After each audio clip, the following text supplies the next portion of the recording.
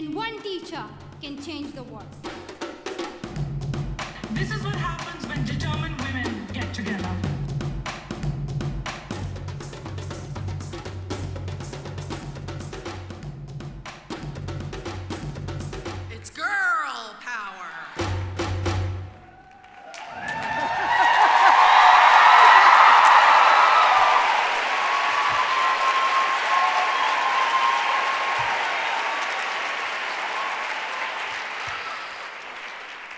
Masih Alinejad, a journalist with an enviable mane of hair, was imprisoned, imprisoned and ultimately banished from her home in Iran for uh, articles that she wrote exposing corruption.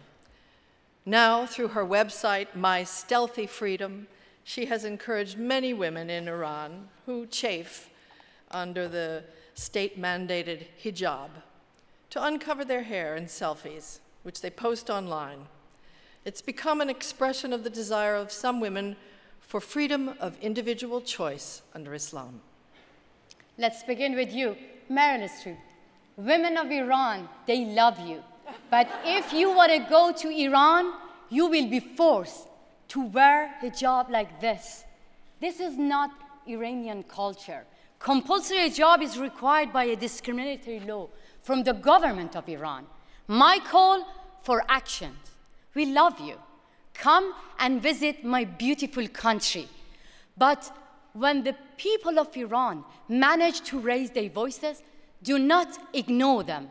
I don't ask you to come and save women of Iran because they are brave and smart enough to be their voices. I just ask all the journalists, public figures like Meryl Streep, Tina Brown, Sheryl Sandberg, every individual of you, be our voices and do not say this is required by law because slavery used to be legal. If no one objected against slavery, nowadays slavery could have been with us. Be with us.